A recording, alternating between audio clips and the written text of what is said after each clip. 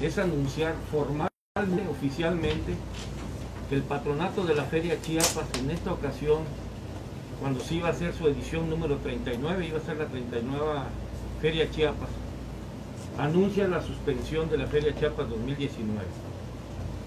Oficialmente no va a haber feria.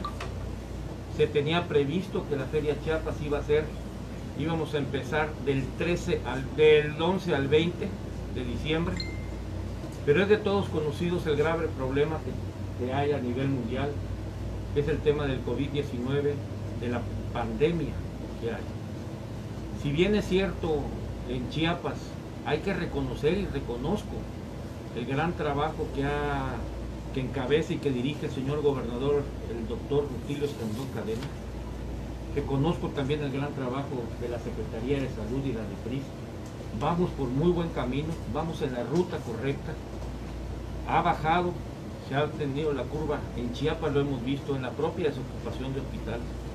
No podemos bajar la guardia ni confiarnos y en consecuencia el patronato de la Feria Chiapas decidió suspender este año.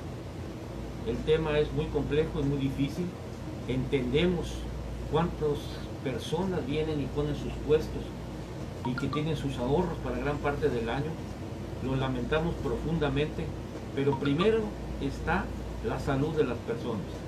Sería un grave acto de irresponsabilidad de mi parte y de parte del patronato celebrar una feria cuando no se está en condiciones de hacer fiestas, de hacer masivos, de hacer palenques de gallo, de, de celebrar en antros, en restaurantes.